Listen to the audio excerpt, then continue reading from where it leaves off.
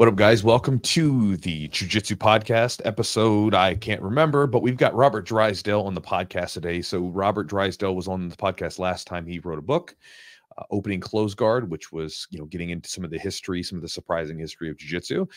This one is is the book title is The Rise and Evolution of Brazilian Jiu Jitsu.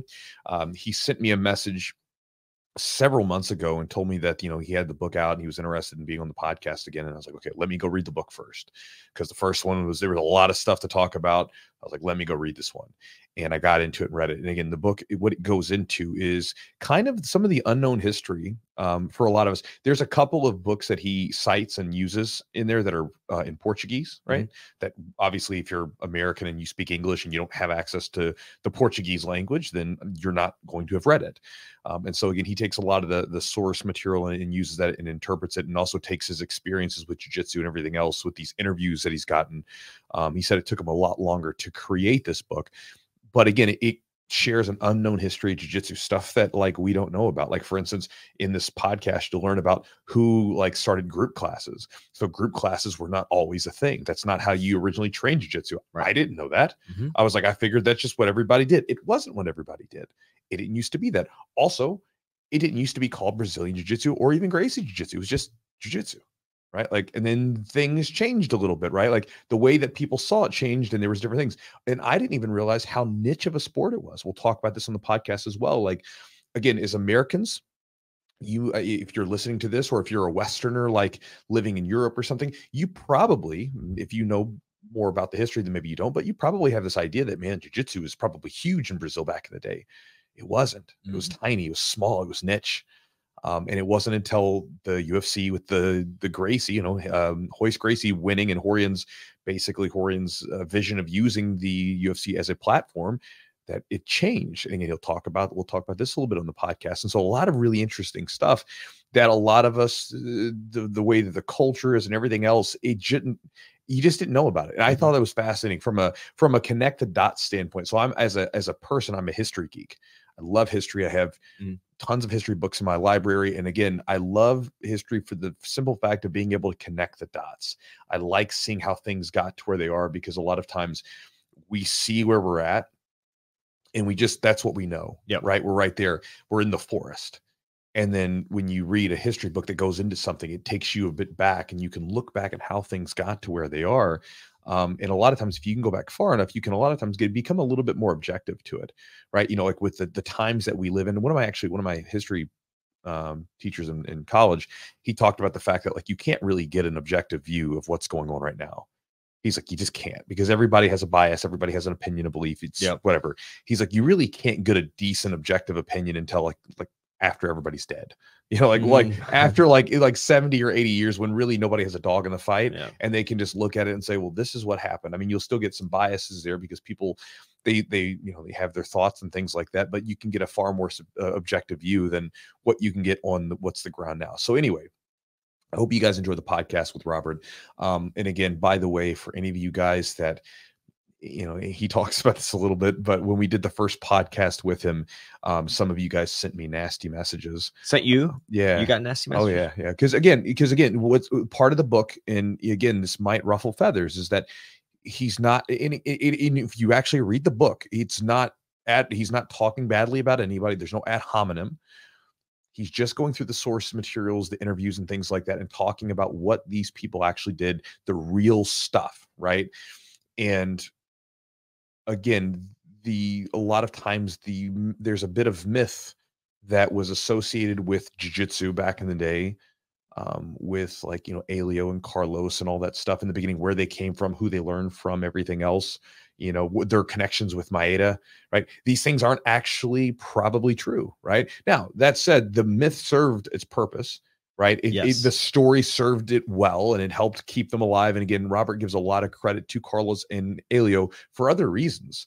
Um, and so talk about on the podcast. But I just say this because I know sometimes, like, you know, as humans, we get very attached to ideas. Yeah. And when someone comes along and says, Hey, wait a second, this idea isn't actually true, it's like, oh, wait a second. You know, you have reactions to that. I know that my reaction was kind of like, huh, you know but i don't look at it as a bad thing because i'm like you know I, i'm it's it's like um it's like when you learn history as a kid in, in the United States. I'm sure it's very similar to other places. When you learn history the, as a kid, at least it grew up in the 90s in the United States, you learn this really like fragmented piece of history, and they talk about your history professor mm-hmm. or your your um, your historical figures like these people, like these perfect people. Like when you read about Abraham Lincoln and uh, you know like walking miles to return a penny or something, and um, George Washington chopping down the cherry tree, whatever, you know all this yeah. stuff. But then when you actually go read about them and you get this far more interesting view of who that person was right like it's like oh that person's really interesting right like when you read about say like from someone like theodore roosevelt you know people know about some things about him but then you read about all these like little things like when he was talking about when he invited booker t um, washington to the uh, to the white house to dine right first black man that ever got to, to dine at the white house when he invited him he said at first he had reservations he was fearful doing it Mm. And he said, I and then he got kind of angry at himself. I can't believe I was not going to do that because of this man's color. I have to invite him now. And you you see him battling with like what other people think, which is something we all do, right? And so you see the humanity in them. Yeah. And so I think it's more fascinating than not. So you see, again, going back to it in the book, I think you get a, you don't get to that kind of depth into it, but you do get to see in the two books that he's created some of this who these guys really were the, these fighters and these the the Gracie clan and what they brought to the table and again maybe it's not exactly what you thought it was but at the same time it's no less impressive and important yeah it's, it's super got, important for yeah. what we have and so again i just share that with you guys again there there there will be some some things like that. If you guys didn't read the first one this might come as a shock to some of you guys but again don't be upset about it. If go read the book. If you yes. if you really want to get angry at him or me or whatever go read the book and then then make a, a good opinion other than just like getting angry because you heard one thing on a podcast. Uh, not that I, i'm not that upset. If you guys send me angry messages you can do that if you want. Um, that said, thank you guys as always for joining us on this podcast. And big thanks to our sponsors for helping make the podcast happen. If you guys have not checked out Charlotte's Web CBD, I encourage you to do so. It's my favorite CBD product that's out there. I've used several different ones over the years, um, and it's been my go to for gosh, probably about four or five years now. I can't remember. It's kind of time gets fuzzy when you get old, but again, it's a really cool product for as far as CBD goes because again, there's a lot of different products out there in the market that do not do the extra stringent testing to ensure the, uh, the, the purity and the actual substance that's in the product that you're taking. So, for instance, it's an FDA unregulated product. So, when you get a CBD bottle, a gummy, or whatever it might be, they don't have to necessarily make sure everything that is in the bottle is what's labeled on there, right? I mean, they they have a little bit of wiggle room because again, it's not regulated.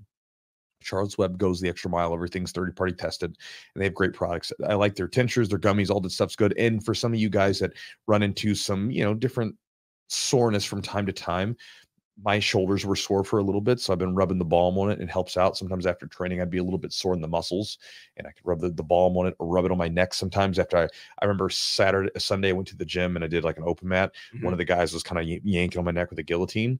After I got home, I was like, ah, kind of pulled it a little bit, rubbed some balm on it, was good, and their their CBD balm is um, it's pretty interesting stuff. So anyway, if you want to check out any of their products, everything at their website, charlottesweb.com, go there. And again, when you find something you like, you can get 30% off.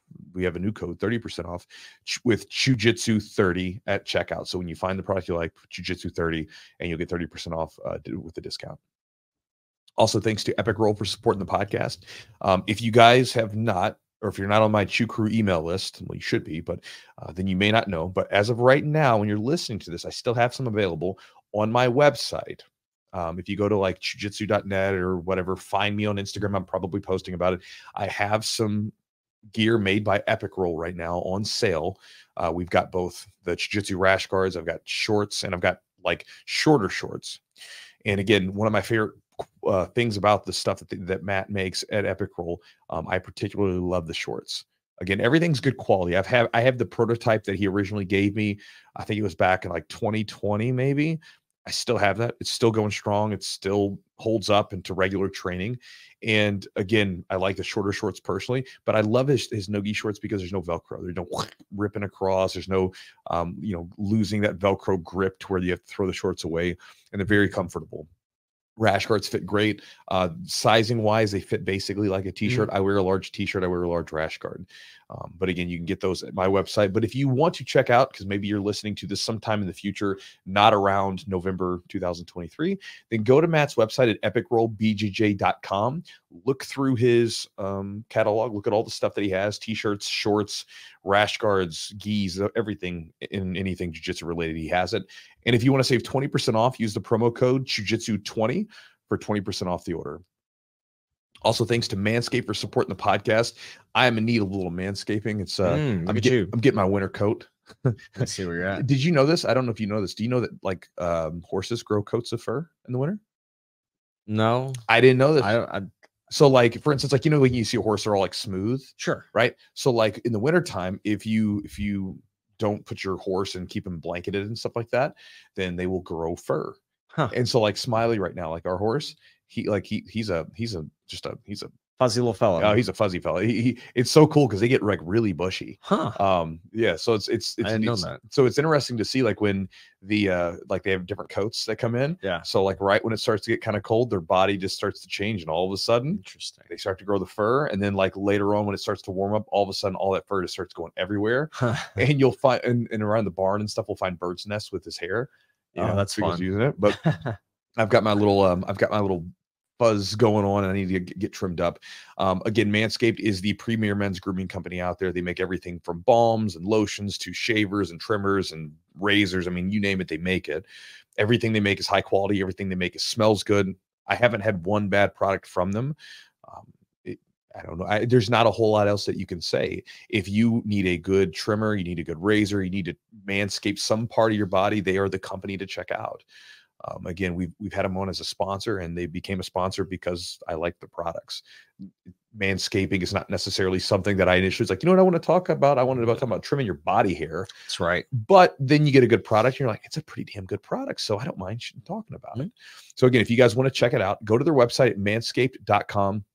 Look through everything. They've got a really cool package. It's like the I'm, don't know what the number is. Is it 4.0 now? It's a 5.0. 5.0. 5.0 So is the the new one. It's got the interchangeable heads. the interchangeable. Okay, It's so awesome. so they you know they keep stepping up their game every time but they've got a uh, performance package a package that'll give you the trimmer it'll give you some other little things and things like that. That's kind of like a good start that's what i started with when they started us off with the uh, the sponsorship uh, for the podcast and that's what i started with i like the product.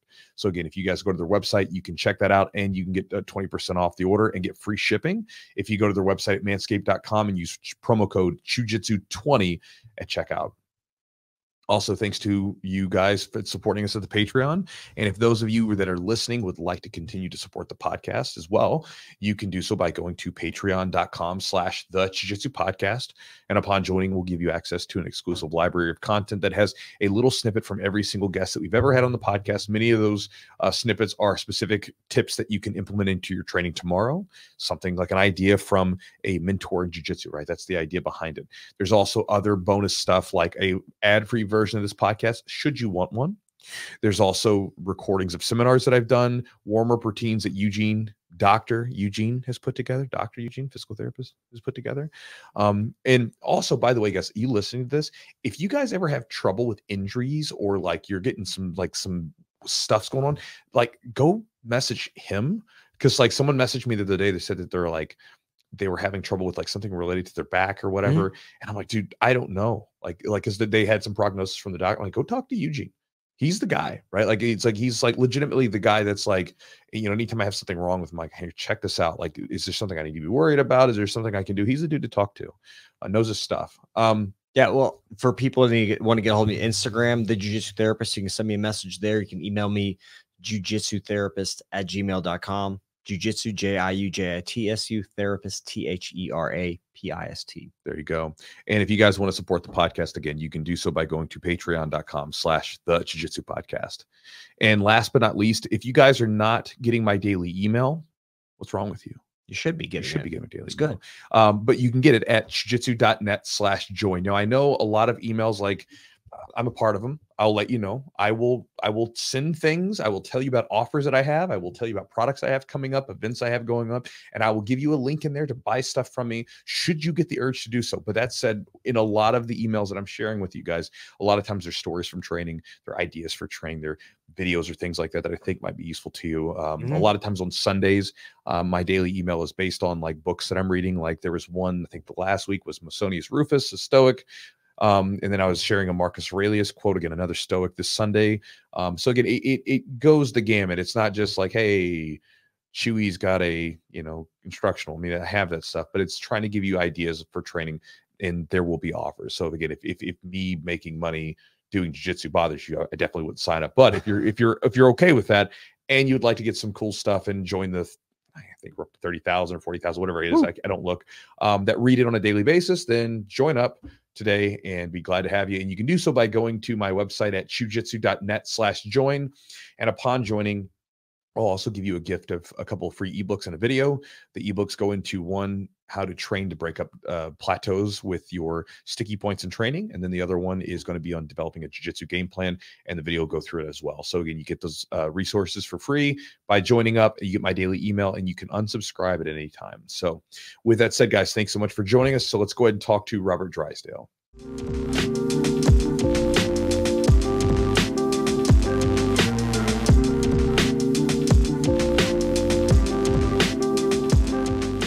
Kind of st- stopping at the last book and then starting on this one. What was kind of the idea behind you know writing another book after you completed the first one?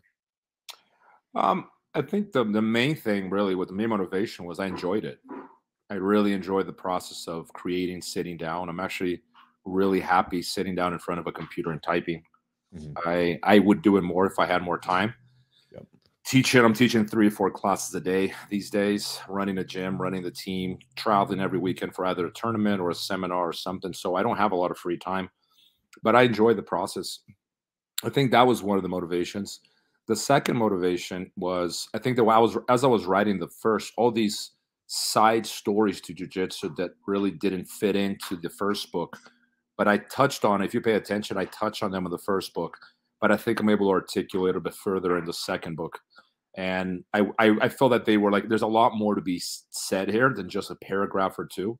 So i mm-hmm. dedicated like a whole chapter on some of those topics right? And and then carlson gracie of course you know i end the first book with a homage to to carlson but i feel like it wasn't enough. Like just like saying oh this guy was an awesome guy he was a great coach doesn't do justice to what he did for jiu-jitsu. So the second book had all those overlapping motivations and um yeah, I, I enjoyed that. The second book was a lot more work than the first, like mm-hmm. double. Like it was a lot more work. So it took like a year of like all of my free time, pretty much just working every day on it. Like it was a lot, but I, it was rewritten at least twice. You know, like mm-hmm. there was there was a lot more work than the first. Partially because I, I made the mistake of editing the book myself, which I'll never do again. That was the dumbest thing I've ever decided to do and um, but yeah the finished product i think is you know so far the, the reviews have been good so. Mm-hmm. yeah what's the reception been like? Because i know like with the first one you know you're you know you're taking the the sort of mythology that we have with jiu-jitsu that we all kind of came up with and you're kind of pulling some of that back and like well here's what actually happened and here's the reality of the situation what's been the reception from these two books that you've written i know the first one i i had people messaging me when we had you on last time telling me it was terrible and this guy is a terrible person for talking bad about Helio and whatever else, you know, which I did I didn't when I actually read the books, I was like, he's not actually talking bad about him. You give him his rightful due. You know, he yeah. was a he was a fighter, you know, he, it is what it is. But what has the reception been for you from these two different books that you wrote? Um, I think it's been mixed. I think in general it's been positive. I think that mm-hmm. people who read the book tend to see that. I mean, I think it's impossible to be absolutely unbiased. I mean, if you have an opinion on morality, you're going to be biased. Sure, of course. If you have an opinion on like anything, I mean, so there's some level of bias everywhere. But I think I did a fair job and not really. There's no ad hominem attacks, you know. Like I, I think that no. some people get blown out of proportion, others didn't get their due credit and that was the purpose i think i know it came from a good place it didn't come from a place of inflammatory you know looking to be sensationalist or controversial just for controversy's sake i know it came from a good place because man, I really, you know, I, I when I heard of George Gracie, I was like, man, this is this guy fought more than every single, probably all the Gracie brothers from that generation combined. Yeah, you know, and no one's ever heard of him. You know, he's arguably the first MMA fight in modern history was George Gracie's. So, uh, you know, I think that that's those things like were motivating me at the time. I thought it was super interesting. But going back to your question, I think that people who read the book tend to side with me the mm-hmm. people who didn't read it were are still very skeptic. It's like clearly this guy must have some bad intention. Um, and it's been an uphill battle. I think that the, the tide is starting to turn after the second book because, you know, I got a Gracie on the cover. So, you know, I mm-hmm. mean, there, there's some reviews that are contradictory. I had one guy that gave me a review on the first that called me anti Gracie. And then the second book, he called me pro Carlson Gracie. it's just like, which one is it, man? Like, you can't, you know. So I think in general it's been positive. I've had a lot of like like qualified readers, like people in you know that you know in high places, like you know like academics write me and they say they enjoyed the book and they felt that I was fair and and and to the point. Um, I made a lot of good friends over this. That's probably my favorite thing about having written these books is how many friends I made over just like people that wrote me and then you know we had a lot of things in common turns out in books in common and you know views in common so that was probably the bigger thing. But it was it was in general positive. But I don't know about the negative. A lot of the people who you know dislike the book aren't necessarily reviewing it or overly right. critical about it, just kind of keeping it to themselves. You know. I think there were kind of two camps essentially. You had the Helio camp and you had the you know the Carlson camp. I mean, that was kind of like you you do a good job showing kind of the contrast uh, of how yeah. almost kind of like how they needed each other, but also how they were so different you know can you can you kind of explain a little bit you know maybe even the importance of of Helio's gym and how he ran things and also how how uh, Carlson ran you know things which obviously the competitive nature of jiu-jitsu the the tournament style the you know the Vale Tudo all that stuff that, that he was a part of you know, man, this is something that the first book I'm still still caught up with the theme of the lineage, right? If you pay mm-hmm. close attention to the book, I'm basically questioning what has been 100% of jiu-jitsu history. So if 10 years ago you ask anyone anything about jiu-jitsu history, they would have gone, oh, you know, Maeda taught Carlos because he was an unruly child, yada, yada, yada. Mm-hmm. And I start with that because that's all we knew. That was 100% of the mm-hmm. story. So I dedicate – if I really think about it, more time than I should have to a topic that really isn't that important. At the end of the day, how relevant is it who taught Carlos Gracie? It's what he did that matters, not who taught him. Mm-hmm. You know, I think Maeda's role in all this is grossly exaggerated to begin with. You know, the evidence points to Brazilians having taught, you know, a Brazilian having taught Carlos anyway. So it's it's not it's but we get caught up in these lineage discussions and like, wait a second here, man isn't it more interesting to understand how the Gracies separated from judo, how that process took place? Like I never thought about this. I didn't. It, it, dawned on me like I was halfway through writing the second book, and I'm looking at these rule sets, and I realized that analyzing the rule sets was a great way of understanding what their interpretation of jujitsu mm-hmm. was at the time, mm. because the rule set frame your practice, right, to yeah. determine what you believe jujitsu to be, and you mm. can see it change and slowly evolving away from judo until we are what we are today. And another aspect of that, I mean, I think that's far more relevant than who taught Carlos. I'll give you another one. It's the Helio and Carlos Carlson uh, rivalry, like you mentioned. Mm-hmm. Their rivalry was probably one of the. It was. It was the political backdrop to jiu-jitsu for decades, and no one had even heard of it. Like most people didn't even know it existed. I, I was uh, somewhat aware of it, but I, I completely uh, de-emphasize it in the first book and in the second book after i'm talking to these old timers like the second wave of practitioners right from like 67 onwards i mean it's clear that carlson and helio were like at each other's throats over who had the best students you know and and it turned out that you know carlson had a better model because it's the model that we practice today you know carlos gracie jr called it a civil war between two generals right so helio focused on private lessons wealthier upper class individuals, no group classes, no competition class. And Carlson essentially taught how we train today, which mm-hmm. is throw a bunch of animals in the room, set the clock, and say go, try to kill each other. You know, and that's we know we all know that now. It's it's it's common sense today. It wasn't common sense then. This is the fastest way to learn is just being at war all the time. And Carlson being inspired for, by cockfighting as he was, he I think he understood that this is how you train fighters. And some of the clash actually started. I had someone reach out to me after I finished the book, and because you know someone really high up in the family, I'm not going to mention who because it wasn't off, but Sure. the real reason why Carlson left was because he was trying to teach a more competition version of jiu-jitsu, some more advanced positions on the ground, stuff that would actually work in a Vale Tudo fight. And Helio was set on teaching the self-defense curriculum. Like he didn't want to drift from the self-defense curriculum into a more sport combative aspect of jiu-jitsu. And they were butting heads a lot. And then Helio would catch Carlson teaching something that Helio didn't want him to teach, and they'd be fighting over what Carlson is teaching. So Carlson kind of had it, you know, and then he decided to leave and open his own place and teach how he saw fit. And he went on to dominate the jiu-jitsu landscape in Brazil for three decades. If you look at jiu-jitsu history from the 1950s up to Royce Gracie, Carlson is by far the leading figure in jiu-jitsu history in Brazil. Like not there's no one comes even close to him. I mean Rolls, but again, Rolls is just copying what Carlson did. He's treading in his footsteps. You know, he Mhm. he was a very important character in the history. Like he was the ideal rival for for Carlson, but he's basically doing what teaching how Carlson taught. And I think a lot of people miss that as well. You know, so I think these are far more relevant aspects of the story than you know who taught Carlos. Mm-hmm. Yeah, and there's there's random things in there that I think, especially for Americans that got into it, you know, later in the '90s or early 2000s, like we didn't know about, like the idea of Brazilian Jiu-Jitsu or Gracie Jiu-Jitsu back in the day just simply being Jiu-Jitsu. Like it wasn't, it didn't have this stamp on it. Like it was interesting to me when you talked about it in the book that you know jiu-jitsu was obviously more developed than it was in america but it wasn't like because we when we saw like ufc one for instance we saw it come in there. We thought that like everybody in brazil was practicing this stuff. Like everybody could fight everybody could fight on the ground. But you know in the book you talk about it it was like this little small little niche Yeah, in the south zone of rio. Yeah, and then as soon as the ufc exploded well it exploded in the us on a very small scale but down in brazil you had all of these practitioners that were just waiting in line saying oh i, I have a job doing jiu-jitsu now. Sign me up. Yeah. and i thought that was a really interesting aspect that i never knew about before yeah. No, for sure. And and a lot of you know uh, non-Brazilians miss this, but Brazilians know this perfectly well. Pé de Pano, you know, two-time absolute you know world Mhm. champion Pé de Pano.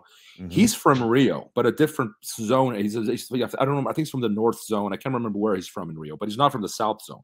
Okay. And he said he had never heard of jujitsu up to Royce Gracie, and he's in Rio.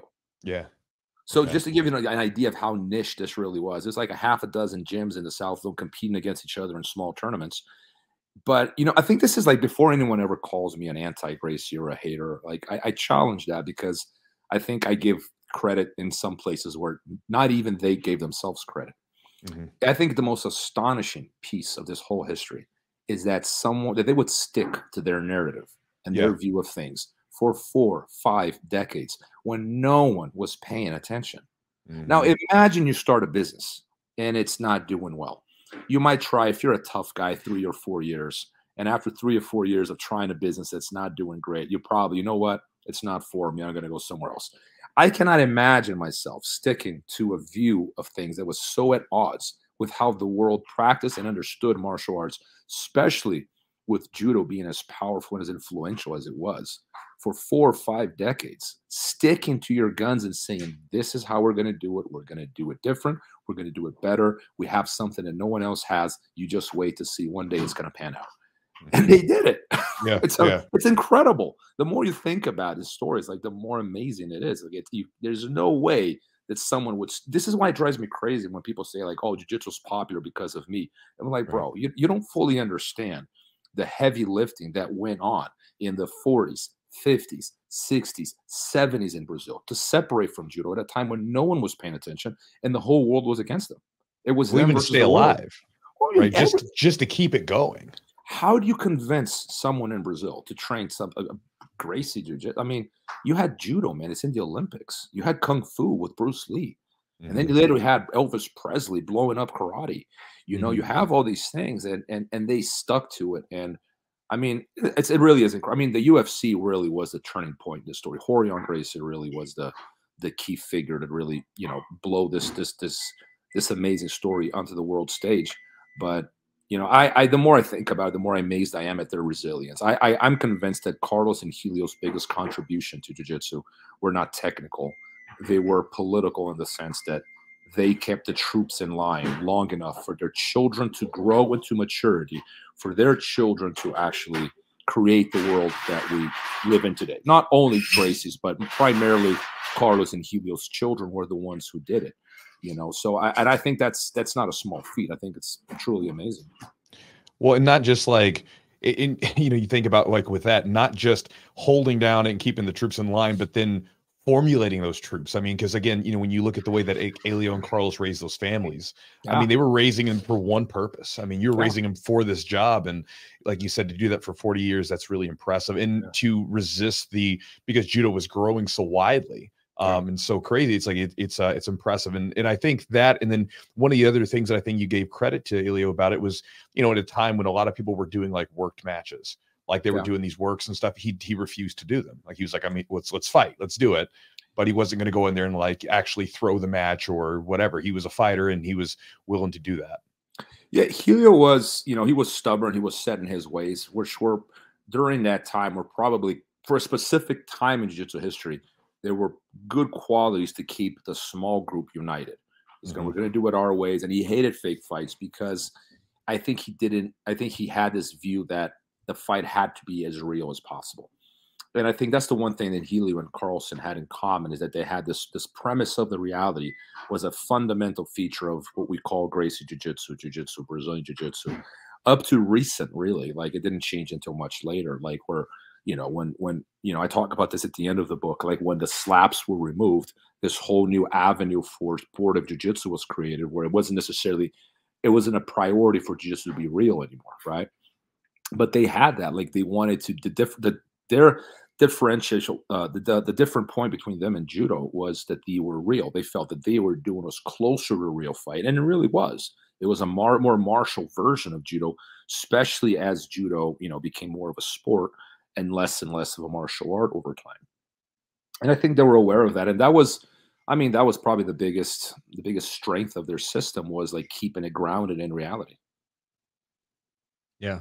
What is there anything from writing this book that maybe you had some ideas on jujitsu that something changed or completely kind of maybe changed your mind about what you thought the history of jujitsu was? I kind of had, I mean, I got this from Choque. I cannot give Choque by Roberto Pedreira enough credit. Like, people credit me as being a great historian. I'm not a great historian. I'm a blue belt at this. If I give myself a lot of credit, I'm a either a good blue belt or a shitty purple belt. um, but you know, like there are people that are professionals that have been doing this for decades, you know. So I, there's no way I'm not influenced by shock. It's clear. I, I'm the first one to say it. But there's a lot of there's there's a theme there, and I pick up on that theme, which is the cyclical aspect of martial arts, of fashion in general, right? Like things come and go. Mm-hmm. I start the book with the circus. I did it for a reason because I do think in a lot of ways we're kind of going back to that. You know, like it's you see the martial arts become like you see a lot of professional events it's not about it's not a, a coliseum of gladiators you know engaging in battle. It's more of like how can we sell tickets? Selling tickets sure. is the top priority. If the selling tickets is the top priority then it's natural that the next step becomes sensationalism in order because you have to top your competition right. right? So like you see com, com uh, comedians on the on the cage now like skits inside a cage. It's something i never thought would be possible Mm. We saw the PFL was doing that a while ago. We see the UFC is buying buying a power slap, which I thought was very strange for them to That's do. That's a weird one. Yeah, what a weird, so, what a weird you know, like event move. What a what strange move for the UFC, really. I think you know. And then there's other things like you're seeing the sensationalism and the comedy intermingling, and as long as it's selling tickets, everything is valid. So I start the book with the circus intentionally because and i start with that quote from ecclesiastes like there's nothing new under the sun. Like we've been through mm-hmm. this before. Mm-hmm. we are treading in the path of judo and karate and taekwondo and we're kind of becoming what we used to criticize. And i think the cyclical aspect of of, of martial arts which is in Choque in between the lines i think i pick up on that and i add a thing or two perhaps. And i think that was that was very interesting. Um the the the role of the of like the second generation of Gracies, which is something I kind of underestimated. Like Carlson Rolls and Carlos Gracie Jr., between the three of them, they really reshaped jiu-jitsu into a whole new brand of jiu-jitsu. Like, mm-hmm. I mean, the, the, the kind of jiu-jitsu we're practicing today is wildly different from what these guys were doing in the 40s and 50s. Now, because we're using the same word, we're under the impression that it's the same thing. We use the word jujitsu, also it's the same thing. It's like, oh, we're just using the word. The meaning of that is changing dramatically you know like just like there's a there's a moment of mutation in, in between judo and the Gracie Academy. There's a Mhm. second mutation that goes on inside Carlson Gracie's academy at the Figueiredo de Magalhães. And that right there sort of gave birth to the brand of jiu-jitsu that we're practicing today. And I say this in methodological terms, uh, technical terms, and cultural terms. I thought that was super important too. Like the beach culture that is so ingrained in jiu-jitsu, the relaxed manners, that Brazilian Mhm. way of doing things, flip-flops, acai, shaka, you know, like the the the the, the bro bra kind of environment that they're on the mats. It's not judo. It's not Japanese. It's not the Gracie Academy. That's Carlson Gracie right there. Mm. You know, and I was I've, I've seen this all over the world, and I thought it was Brazilian, but I didn't realize that Carlson had been the one who actually introduced that into jiu-jitsu because that was him. That's how he was. That was his personality. So it, Carlson's personality played a role in shaping jiu-jitsu because at the end of the day, it was it had more appeal to the world. You know, this is why I, I mentioned this in the book, but I mean, I think Carlson is the victor in the in the civil war against Helio because Mhm. it was his view of jiu-jitsu that had greater appeal to the world. Now, the world didn't give him credit because he had one son and he wasn't the one who had the the, the opportunity to tell the to explain to the world what jiu-jitsu was. Rorion did that in the 90s and everyone just went along with it. Mhm. But I think that if you pay close attention, the brand of jiu-jitsu that we practice was born inside of Carlson Gracie's gym, not the Gracie Academy. Incidentally, this is something that Carlson was very aware of. When he says, don't confuse Gracie Jiu-Jitsu with Carlson Gracie Jiu-Jitsu, he's fully aware of that. He's fully aware that even though they're still using the name Jiu-Jitsu, it is a different practice. It's all, I'm, I'm- don't want to call it a new martial art, but there's definitely a fork there. It's much like there was a fork between judo and Gracie Jiu-Jitsu in the mm-hmm. 30s and 40s. There was another fork that took place somewhere in the early 70s in Rio inside Carlson Gracie's academy. These people, I mean, the, the kind of clientele, the methodology, and the techniques that we're practicing differ dramatically. Now with Carlson, I mean, there's a lot of things to to pull from. Are there any in your in your sort of thinking, your opinion, your belief? Are there any particular contributions to what we do? Because again, there's there's a lot. When you look at the book, there's so many things like I didn't know about, like the group classes, uh, and even the culture and everything else. It's like, oh yeah, like all of this stuff came from this place. It's interesting how it it it just uh, transmitted everywhere. But Yeah. is there any particular contributions that you think are extremely important or more important than the others as far as jiu-jitsu goes from Carlson? I think again that the beach culture. I think we underestimate these things because oh, the culture has nothing to do with it. You know, it, it's super important. Like a martial, culture, uh, yeah, it's huge. You go Like, into a gym, like you know this, like you go into a gym and like immediately you get a vibe from the gym, and that that culture is what's going to keep you. You come in for the techniques because you want to learn them, and that's like the perfume that attracts you. But what Mhm. keeps you is like the personality of the, of the people and the culture of the people of the gym, hundred percent. and and and you know martial art is i i define a martial martial art in cultural slash philosophical terms jiu-jitsu has a culture a very specific culture that is constantly changing that's part of the theme of the book it doesn't have a philosophy like judo judo has a specific philosophy with a purpose to it i define it in methodological terms how you practice that martial art and in technical terms which is framed by the rule set so there's those three aspects frame a martial art in my view Carlson changes jujitsu in all those three of those aspects. He goes from private lessons to rich individuals to democratizing it to the masses, group classes, porrada, conflict, rinha, they say in Portuguese, right? Cockfighting, like you know, rooster versus rooster, go to war. That's the methodology. The culture, it's the beach culture. Relaxed manners, flip flops, show up five minutes late. It's not the militaristic culture that Helio and Carlos had created inside the Gracie Academy. Just culturally, it's very different. And I mean, these old timers talk about it. It's I mean, completely different crowds, completely different vibes. You know that matters. The word I mean, I I when I walk to jiu-jitsu gym in, in Japan, and I mentioned this in my first book, and I see people sitting with their legs open, taking their taking their time to tape their fingers, showing up five minutes late. I'm Yeah. thinking, man, that's that's not Gracie, that's not judo, that's not Gracie jiu-jitsu, yeah. that's that's Carlson Gracie jiu-jitsu. Like that's the it's the beach Brazilian aspect of you know the whole thing of being so relaxed when you're on the mats. Um, and then in technical terms, and the, the, going back to the rule set, this is super important. In 54, just to give an idea how these guys were really judokas. In 1954, their internal rule set, the chapter eight talks about the rule set, right? The, the Mhm. the evolution of the rules. In that 1954, they had Wazari, Osaekomi, and Ippon in the rule set.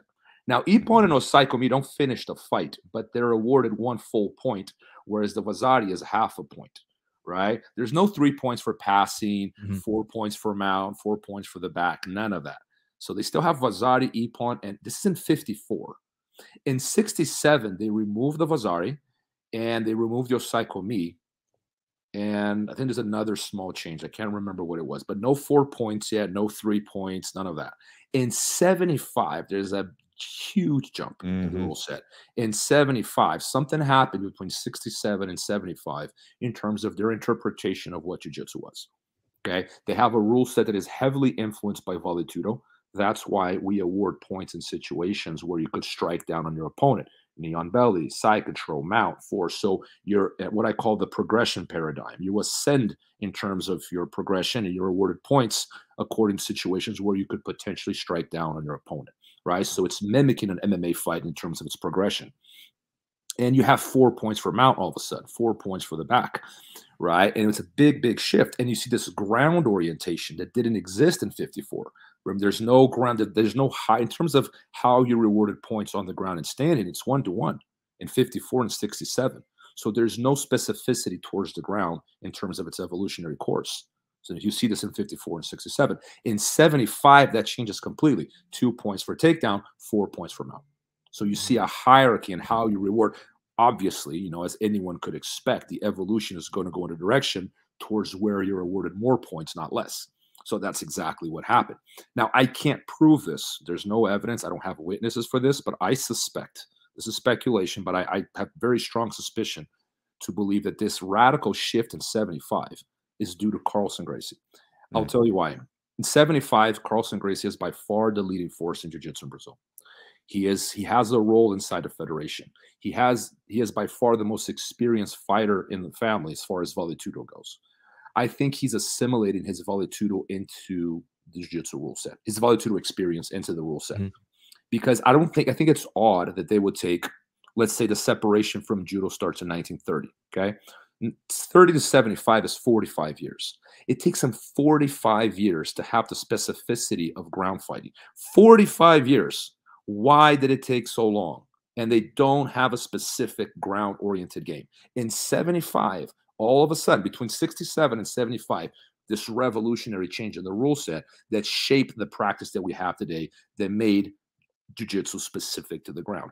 And this mm. isn't this is in tune with Helio Gracie's own fights. I mean, you watch Helio's fights, he doesn't pull guard. He's standing up the whole time. Watch him with Kato, watch him with Kimura. I mean, he got taken down 32 times by Yasuichi Ono. How do you get taken down 32 times in a fight unless you're trying to stand up the whole time? You're clearly not pulling guard, Right. right? I mean, if you're a pulling guard, how do you get taken down 32 times? You got taken down 32 times because you're trying to stand up. Okay. And for 45 years, there's no ground orientation in their jujitsu. And in 75, that changes. I can't prove it, but I think that that has to do with, and, and could that combined with the influence of Vale Tudo in the rule set, Mhm.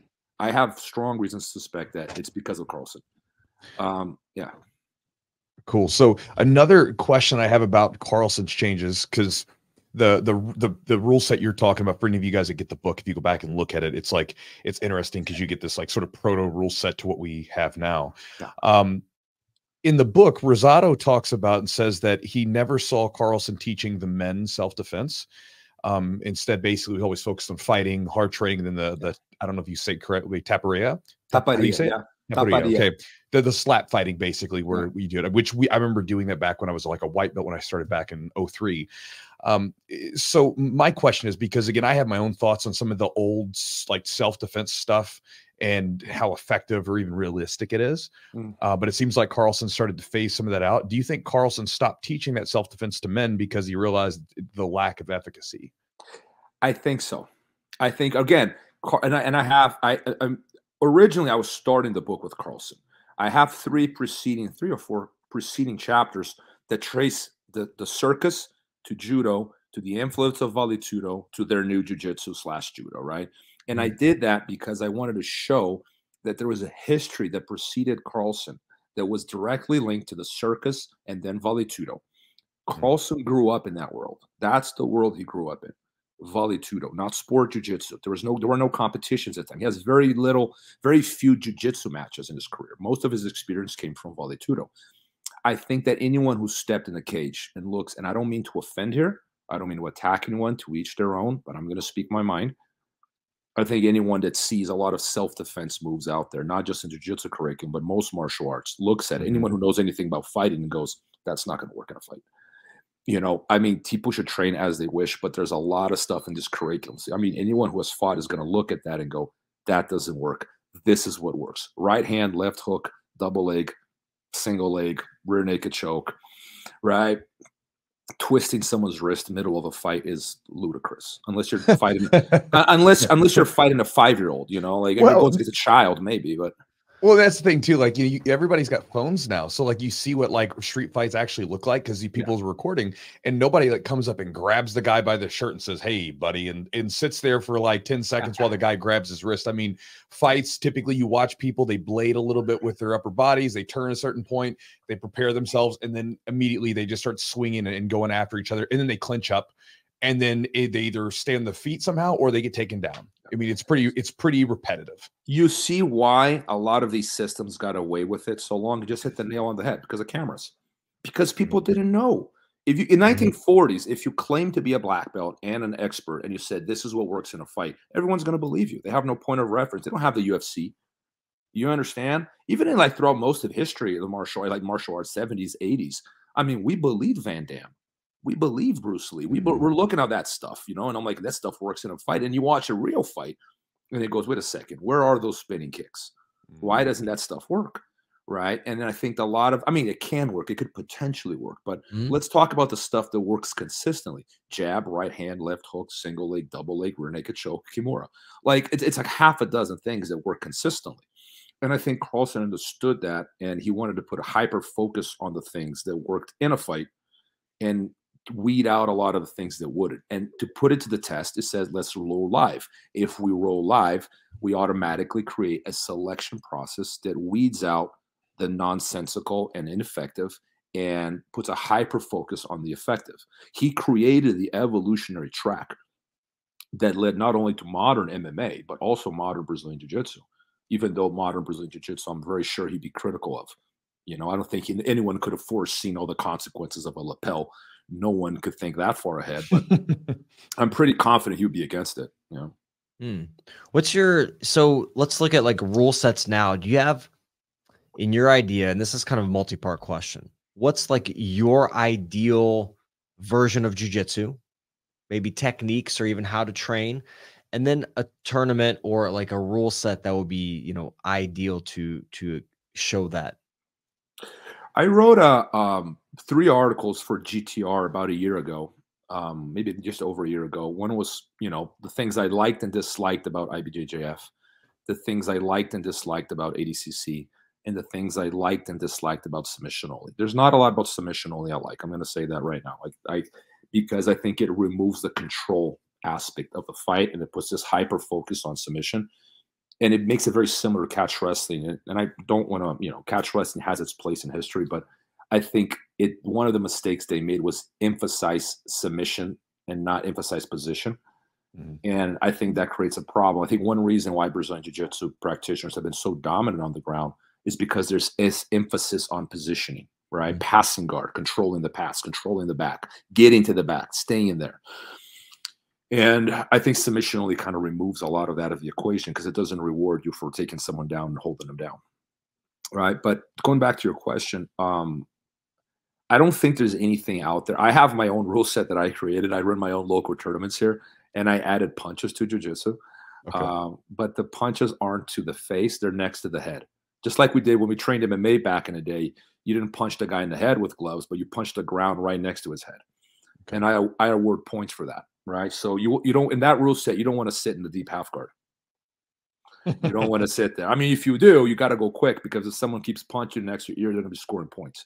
You know, and it's just adding strikes to jiu-jitsu to remind people, much like Taparia did, that you can't do this in a fight. There's a reason why the reason why people didn't evolve shin to shin guard in Brazil in the 80s. It's not because they're stupid. You know, a lot of people think, oh, the leg locks, you know, we innovated them. You know, oh, those people couldn't do it. They're too they're too dumb to do it. I was like, no, you get slapped in the ear if you did that. it's it's it's it's nonsensical to sit up shin to shin when slaps are involved. There's a reason why no one does it in the UFC. You know, in the UFC, how do you play guard with your back on the ground and your feet up in the air? That's where the term guard comes from. You're guarding your head from punches with your legs. That's where the term guard comes from, not from a shin to shin or a deep half, right? And I think we, I mean, we're so removed from the reality of combat that we kind of forgot about the origin of the term guard and what it's for. But I think a, a system that is meant to teach you how to fight needs to take in consideration that much of what we're teaching, I include myself here, wouldn't work in a fight, you know. And I think we we kind of don't care anymore, really. But mm-hmm. I think it's important for terms of longevity and credibility, and in order for us not to completely become what we once criticized. Mm. Yeah, that's interesting because that was the thing that when I like when I first started jujitsu, and obviously before me, but I remember that was always the thing that we would uh, we would like bite down on is saying, well, you know, the stuff that you guys are doing in taekwondo or karate or whatever the traditional martial art was, that wouldn't work in a fight. That yeah. was always our, our thing, right? We we because we could look back at jujitsu and say, hey, this this works in a fight. Like we can pull guard and get close or whatever. And the jujitsu is pretty simplistic. And where you look at a lot of the sports stuff that we all play around with now, like I mean, I fought MMA, you fought MMA. So like a lot of us kind of we kind of know, like we know what the basics are and we know how to get back to that fighting jujitsu. Yeah. But I think some people maybe don't because they haven't been exposed to yeah. those sorts of things. But it is yeah. interesting to see that the jujitsu has gone in a direction where a lot of the stuff that we do now would have yeah. no place in a fight. And, and, and we don't seem to care. I mean, when I started training, I mean, you, you mentioned you trained Tapari in 2003. That's very late. The last time I did it was 98 and I thought I was one of the last ones to experience. In 2003, it's man, that's I've never even heard of that. We but, couldn't get a hold. We couldn't get a hold of gloves, right? So like gloves were hard to get a hold of. Like you yeah. know, back in the day when I first started, you just couldn't they didn't have like every different glove available. You would have to get on some random website to get a glove. Or we used to take the Harbinger gloves and yeah. you'd cut out the little bar, yes, and yes. then you would you know the, the ones that Tank Abbott would wear back in the day, and so you'd yeah. fight with those. And so that a lot of times the slap was just we could slap each other just a little bit to like, hey, you just got yeah. hit in the face, yeah. And so it was a way to kind of work around that. But yeah, no. So I'm I'm from that. I mean, I'm we're okay. I guess I guess you two were part of the generation where jiu-jitsu was meant to work in a fight. I mean, jujitsu when I started training was the same thing as Vale Tudo slash MMA. Like there's jujitsu was preparation for MMA. That's mm-hmm. what jujitsu was. Jujitsu was not preparation for IBJJF or ADCC. Jujitsu was mm-hmm. preparation for a fight. Now the sports have grown so much in different directions. I have students that train jujitsu and couldn't care less about what's going on in on FloGrappling. And then I have students that train jujitsu and couldn't care less about what's going on in the UFC right? They're just like completely different kinds of jujitsu. And as an instructor, I'm kind of split because I'm teaching two separate classes, all two different methods, really. Because there's jujitsu for a fight and there's jujitsu for sport. And I mean, I I I don't like to teach lapel guard. I'll be honest with you. Like it's not rocket science. It's like, oh, I can't figure that out. I'm like, I'm pretty sure if I sit down there, I can learn it. Like I know like maybe two or three things from there, and I'm even hesitant to teach it because it's so removed from the reality of the fight. well. I'm just, I'm just like this is I mean, it's kind of like I, I, see. I had a T-shirt made. Everyone thought it was a bad idea. Maybe you guys will think it's a good idea, but the T-shirt was like I had it. I actually had it made. It says, um, "Lapel guards and butt scooting are the new nunchucks. Prove me wrong." you know, and it, I mean, it is. It's a very yeah. specific thing that we do that has no application anywhere else. Yeah. And I think that because when you're immersed in something, you don't, it's like a fish in water. You don't see water. It's just, it's your reality. Mm-hmm. But I do, and I, and I don't mean to, you know, attack anyone. I just, you know, I don't want to offend anyone. I got to keep saying this. People get offended by everything these days. Yeah. But like, I, I think that it's just going to be an embarrassment in the future. Like, I think 50 years, 100 years from now, like, you know, people are going to look at this and go, man, what does, what is the point of that? You know, and there's so many great things about, you know, jiu- realistic jiu-jitsu. When I see Khabib, I see a great representative of old school jiu-jitsu. I hate to use the mm. term old school because it's associated with things that, you know, I don't care about old or new. I care about if it working. But he's he's a great representative of Carlson Gracie's mindset. Like punch, punch, takedown, ground and pound submission. Like he's probably the best representative of that sort of mentality. Sure, he comes from Sambo, but he's fighting exactly how these guys used to train, how they used to prepare for a, for a fight back in the day. Whereas today, I we're very underrepresented MMA because we've gone in a very different direction, which has its positives. It open. I mean, your your mom might want to train jujitsu today because there are no slaps. But if you include slaps, mom and dad are probably going to go screw that. Yeah. You know, like I don't want my kids doing that. Like you, you, you, the Spartans, they, they, that you weed out the Spartans, they go do MMA and you democratize it to a much broader audience. And, and that's kind of where we're at now. And it made my life as comfortable. I'm an awful businessman and I still make a good living just because Joe Rogan sends me a new student every day. Not a day goes by that I don't get a new student through the doors thanks to Joe Rogan. Mm-hmm. I joke in the book that uh, Joe Rogan is our Elvis Presley. I don't yeah. know if you guys caught that yep. because like yep. the, yeah. he did he did for us what Elvis did for karate, you know, and um but like and it's great, you know, because of that. I make a comfortable living, but I'm not gonna lie, there's there's a conflict there that I, I feel like mm-hmm. I live because I, you know, I the reason why I loved I fell in love with jujitsu was not because I could make money from it. I fell in right. love with jujitsu because, you know, there was there were values that came with it. There were tough love values that have vanished. Mm-hmm. I mean, the idea of self promotion then was an embarrassment. I'm not that old, man. I've been doing this for 25 years, but it was it was embarrassing to self promote. Like the idea of bragging, the idea of like blaming your coach for losing. I get blamed. My students lose matches. Like people get mad at me. Like it's my fault. I'm like, dude, blaming the referee, blaming this. Like there was accountability. It was like this tough love culture of don't be a whiny bitch. Mm-hmm. I I like that about jiu-jitsu. It was real. Like you had to take care of you. Cosado says that. You got to toughen up, and if you are not fit for the environment, pack your bag and leave. Right, and I, and you can't do that anymore because you're running a business. So you you you you, you if you did that, you would go out of business. So it's a conflict. But do you think you can still? Because I mean, that's something I think about. Because I was reading the book, and um, you know, there were parts of where you were talking about like phasing out like the gauntlet and stuff like that. Like I still do the gauntlet.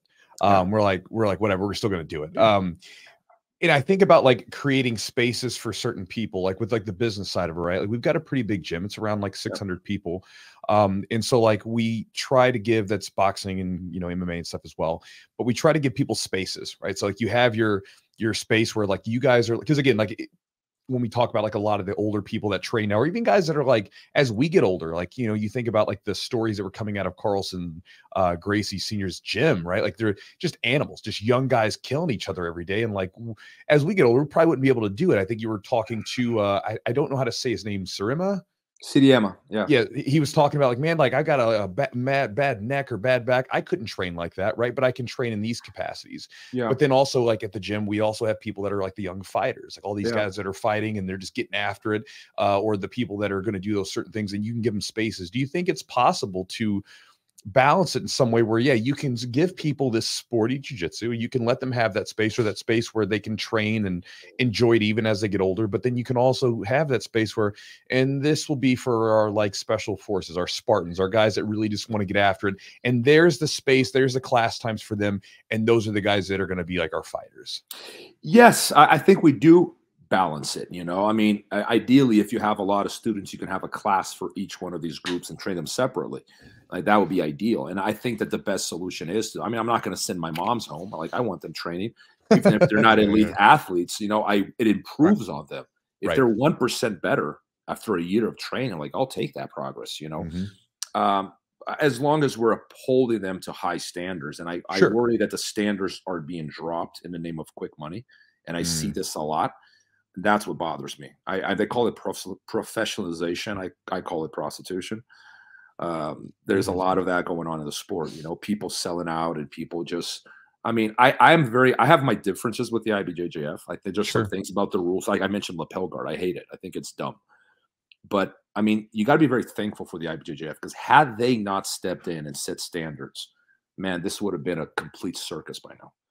Because I remember not too long ago, you guys remember this, people were promoting children. They were getting their black belts after two years. There were people advertising, promoting their black belt in three years. It was becoming like it was a thing. Oh, that was a, that was like there was a there were books coming out there. Like, here's yeah. the secret to getting your black belt in yeah. three to five years. I'm like, like why would you want it so fast? I never because, understood that one. Because people want easy things. They want they want that the, the notoriety. They want the status. They want the prestige. But they don't want the arthritis. You kidding me, man? You want the arthritis? Who wants that? You know but if it were not for ibjjf right stepping in and creating systems and standards in time because these things didn't exist before them Even in the 90s in Brazil, as late as the 90s, early 2000s, they still didn't exist. They're fairly new developments in jiu-jitsu, and that's thanks to them. You know, and I don't think I don't think people fully appreciate what that means for our credibility because if if you have 12 year old black belts out there, you know, like and no one everyone's a I mean shit, then you can do I'm gonna sell my black belts on Amazon then, you know.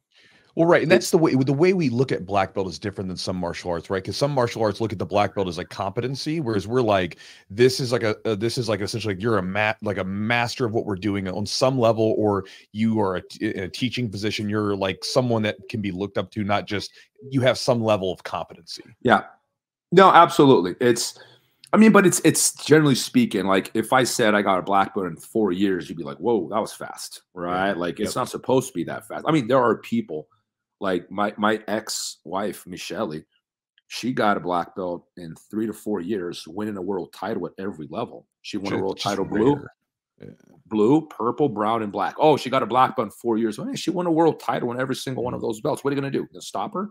Yeah. Like BJ got it in three, four years, but same thing. He got a he won he was a brown belt for like six months and he won a world title as a black belt. Like, what are you gonna, how are you going to criticize? You can't argue with success. But those are the exceptions, right? People mm-hmm. don't realize that. Like, people try to market the exceptions if that were the reality of the discussion. It's like we're talking about the 0.01%, you know, and I, I and I not only that, but like I think the a lot of the the the, with with the commercialization of jiu-jitsu, the democratization, the popularization, you're gonna get all of this growth. And it's almost impossible for the product not to be watered down to some degree, you mm-hmm. know, because the more people you bring, the more financial pressure you're going to have on the martial art for it to become like easier. You see what I'm saying?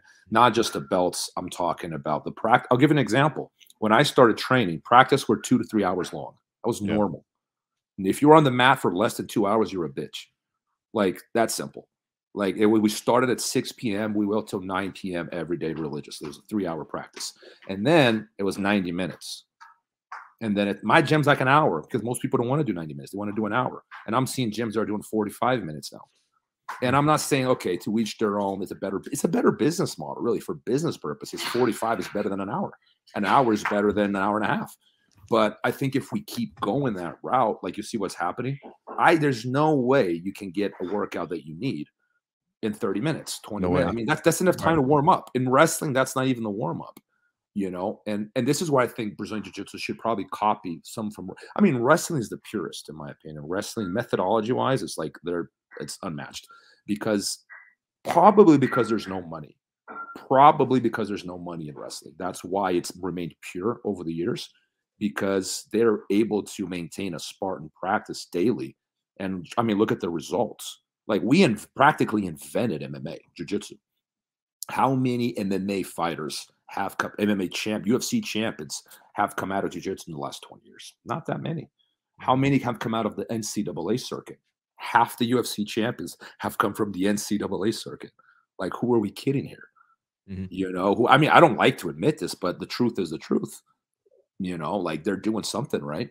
And I, I think that technically wrestling is far less sophisticated than jiu-jitsu. It's simple, but that might be its strength. It's so simple. Get on top, stay on top.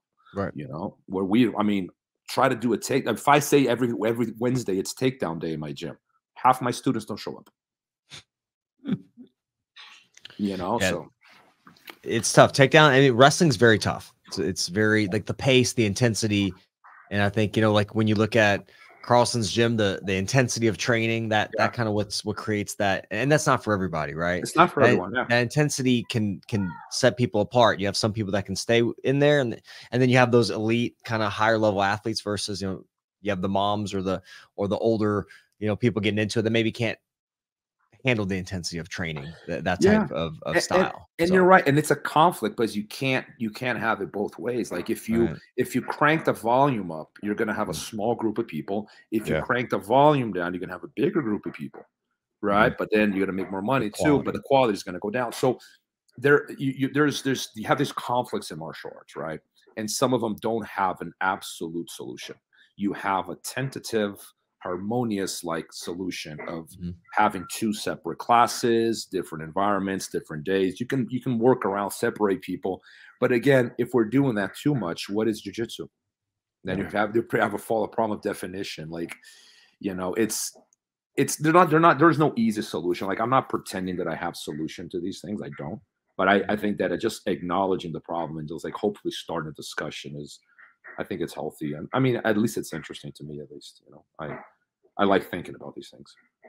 What's your do you think your standards for black belt like let's start with saying what are your kind of standards some some basic ideas of what you look for in a black belt to get promoted um, under you and also has that standard changed over the years you know as jiu-jitsu has grown I, it's a very good question. I, I have people I, I regret promoting because I think I, you know, it's I I, I range. I think character is one, not just Mhm. attendance, technique, results, consistency, all these things. You know, like my standards have changed over the years. I've gone from really harsh to too easy, and then back to harsh. You know, like it's it's constantly changing.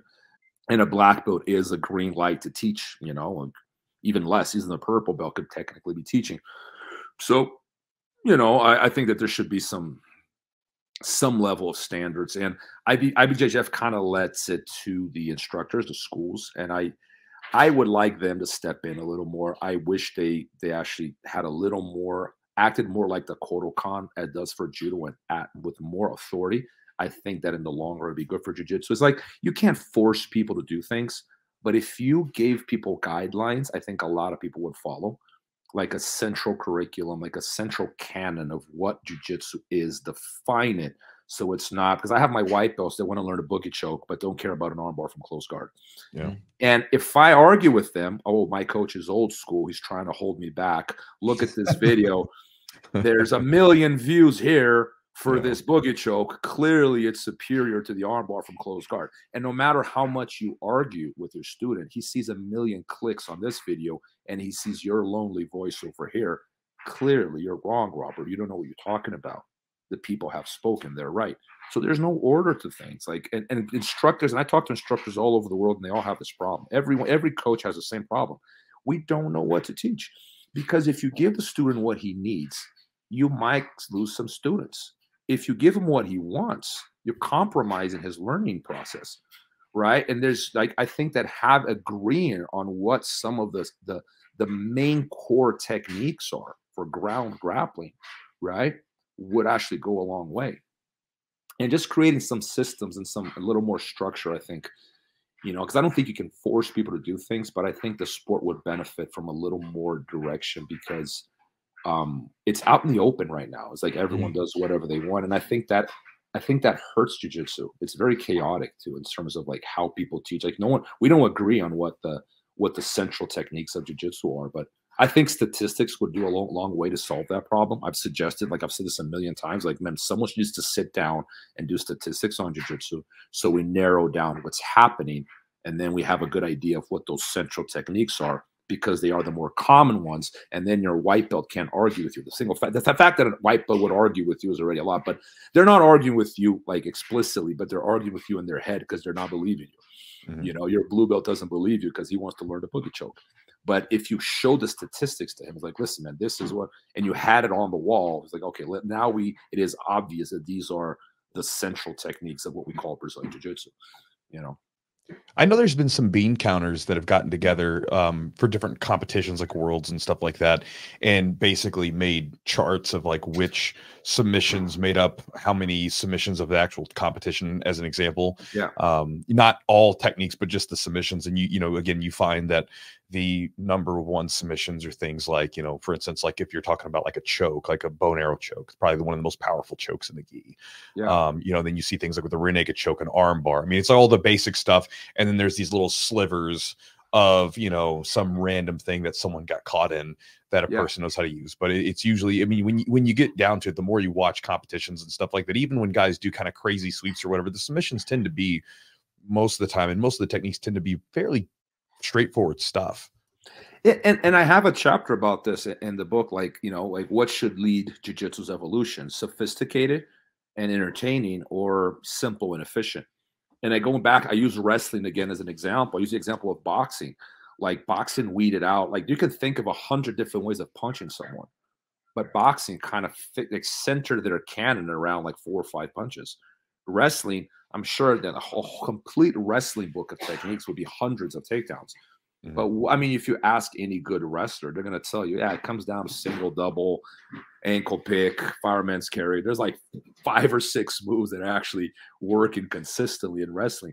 But when it comes to jujitsu, it's that we have this obsession with novelty and variety that I think does more harm than good. I think we should have a, a central kind of like maybe shit, make it 20 techniques and let's this is what stuff and i don't care if it's old or new it doesn't matter but these are the things that are working consistently and you're right they're normally simple and they're very consistent.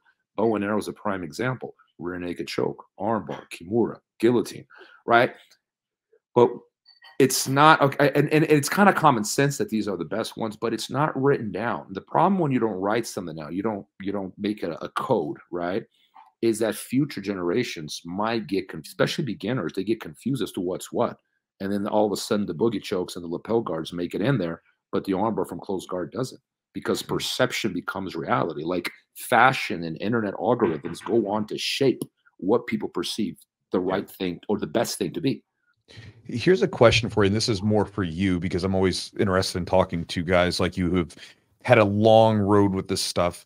Um, what is your training like these days? Um because obviously you know we'll get back to the book but i'm curious about you as a person like you know how old are you now robert? 42 just 42, turned 42 right? And you and, and, again you're not like you're not a super old guy but you know you uh, you've got a lot of mileage on you right? Like jiu-jitsu puts a few miles on you uh, especially when you're competing at a level that you yeah. were doing for a while. What is your training regimen like now? Like how do you mix in your own training and still being able to do consistently with all your teaching? I uh, i call myself like a rental car I'm not that old. I just got a lot of miles. you, you, get you get a, you get a I got 2021 with like you got road rough for a while. 150,000 miles on it. Like that's me. You know, I have arthritis uh, on my neck and lower back, two herniated discs on the neck, one on the lower back. I have arthritis on both of my wrists, which is the most the worst of them all. I can mm. barely hand fight. I got arthritis on both my knees. I can't go to war. I can train. I cannot go to war. If I, the last time I went to war, I said, fuck it, I'm going to go through with this freaking naked choke and I don't care how much it hurts. I went to bed at 4 a.m. because my wrists were just like, and I was in so much pain, throbbing, that I there was no position I would put my hand in where they wouldn't throb. Like I, it was like I went to bed at 4 a.m. unable to sleep in so much pain, and it's arthritis, so there's not a lot you can do. And I'm 42, so it's going to get worse. So I, my goal at this stage of my life is to train every day a little bit or as much as I can without going to war.